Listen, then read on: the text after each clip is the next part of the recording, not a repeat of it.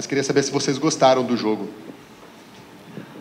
Bom, é, acho que, que o primeiro tempo não, não gostei, é, muito, muito lento. É, bueno, a troca de passe, faltou poder atacar espaço, mais allá de, do campo de jogo, que permitia muito pouco jogar bola, pero era para os dois. E, e bueno, achava que, que teníamos que, que começar a movimentar muito mais rápido. E o segundo tempo foi assim, melhoramos, eh, generamos muitas muitas situações, eh, pero a Copa Libertadores é assim, eh, partido todo é difícil.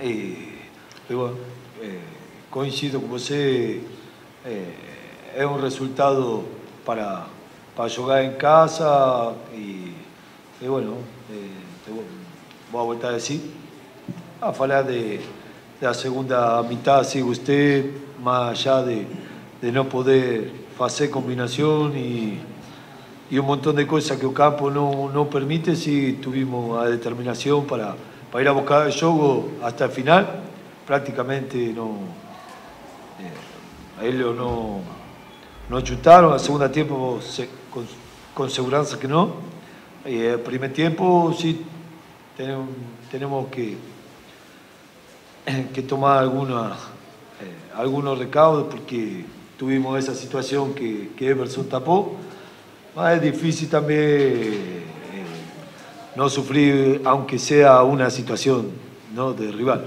Pero, pero bueno, termina siendo un buen resultado para, para tratar de, eh, de finalizar a série em casa.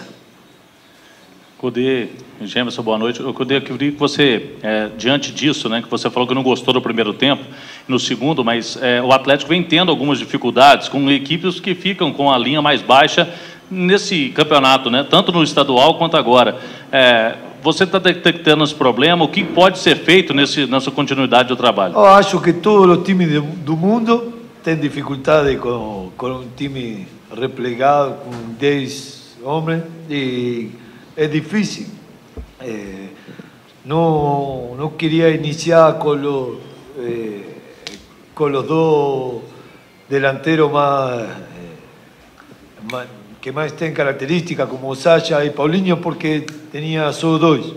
Entonces, ante cualquier cosa no, no teníamos cómo, eh, cómo trocar para ir a buscar los resultados, ¿no? Eh, pero siempre va a tener dificultades cuando, eh, cuando un pone 10 hombres por, por atrás bola, mas eso siempre falo y no, no es una excusa, ni mucho menos, siempre falo que sea la responsabilidad que tenemos, eh, como que, que, siempre tenemos que ser protagonistas, mas a dificultades del campo, ¿a quién favorece?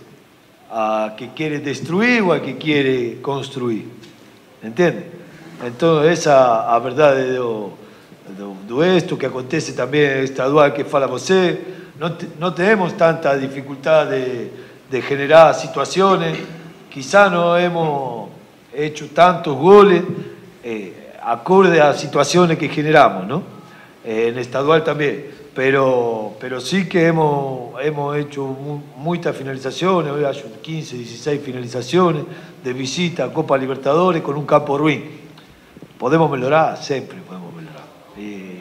pero, pero voy a volver a decir, es Copa Libertadores, eh, siempre es difícil jugar afuera Lembra que tuvimos 20 horas de vuelo, ¿no? de, de, de viaje, y, y, costó, un inicio costó.